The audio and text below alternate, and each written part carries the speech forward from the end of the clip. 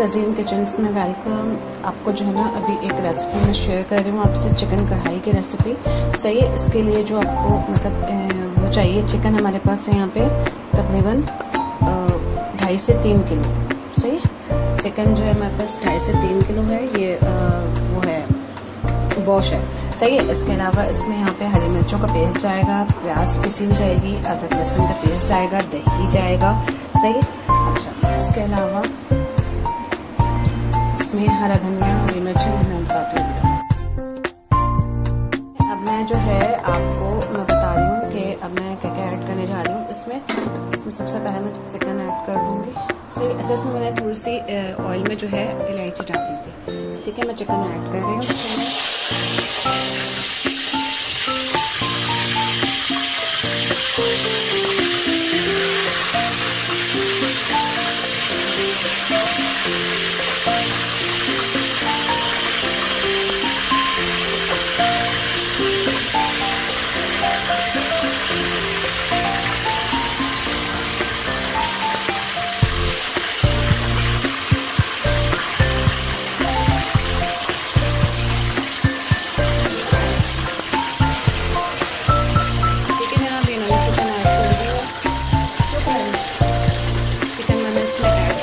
ठीक मैं इसको थोड़ा सा वो करूँगी, भूनूँगी, ठीक है? इसको मैं थोड़ा सा भूनूँगी। चिकन चिकन कढ़ाई रेसिपी है, सही, चिकन कढ़ाई रेसिपी है, लेकिन मेरे मेरे स्टाइल से थोड़ा सा, सही? थोड़ा सा हमने डिफरेंट इसमें किया है तो ये मैं इस स्टाइल से बनाती हूँ चिकन कढ़ाई। तो आप लोग भी ज़रूर ट्राई कीजिएगा। अच्छा इसमें चला जाएगा अदरक, लहसुन का पेस्ट दो टेबल स्पून ठीक है? सही है, इसमें हम थोड़ा सा भून लेंगे इसको। ऑलमोस्ट इतना कि मतलब इसका थोड़ा सा कलर चेंज हो जाए चिकन कढ़ाई का इसमें थोड़ा सा इसका कलर चेंज हो जाए चूल्हे को मैंने थोड़ा सा तेज़ कर दिया है।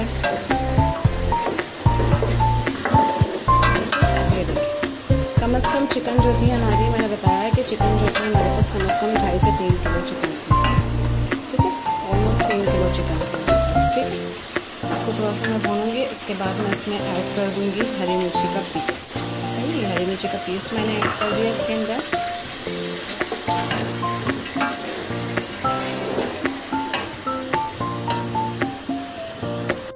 ऑलमोस्ट हमारी जो है भुन चुकी है हरी मिर्ची और तेल में। सही, अदरक, लहसुन का पेस्ट और तेल।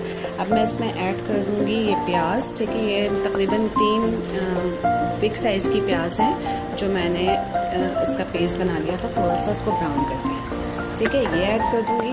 इसके साथ इसमें जो है, इसमें जो है आपके मसाले चले जाएँगे। इसमें मसाले देखिए कौन कौन से हैं। भुनावा ज़ीरा है। इसमें साबित धनिया इसमें नमक है, इसमें गरम मसाला है इसमें लाल मिर्च। है ठीक है?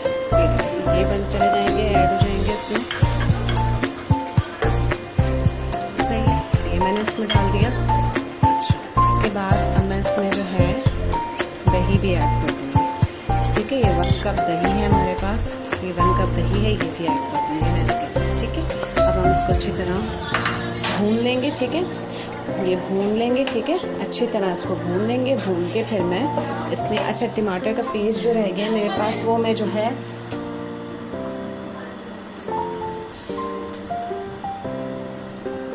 टमाटर का पेस्ट जो है इसमें मैं ऐड करूँगी अभी थोड़ी देर के बाद। जब वो भून जाएगा ना तो फिर मैं ऐड कर दूँगी टमाटर का पेस्ट ठीक है? इस टाइम पे मैं जो है टमाटर का पेस्ट ऐड कर दूँगी इसमें, ठीक है? ये टमाटर का मैंने पेस्ट ऐड कर दिया। और मैं इसको ज़रा सा हिलाऊँगी, उसके बाद जो है मैं इसको रख दूँगी कुक होने के लिए, ठीक है? तेज़ आँच पे इसको पकाएँगे, ठीक है? फिर फाइनल लुक मैं आपको दिखा दूँगी, ठीक है? सही है? देखिए फाइनल हमारी चिकन कढ़ाई तैयार है। अब मैं नई रेसिपी के साथ दोबारा हाजिर होंगी तसीन्स किचन में। तो ज़रूर मेरी रेसिपी को जो है वो सब्सक्राइब कीजिएगा और लाइक कीजिएगा शेयर कीजिएगा वीडियो को। जब तक के लिए अल्लाह हाफ़ फाइनल लुक तैयार है, सही, ये कुक हो चुकी है। अब मैं एंड में बस इसमें कसूरी मेथी मैंने ऐड की है, ठीक है, कढ़ाई में।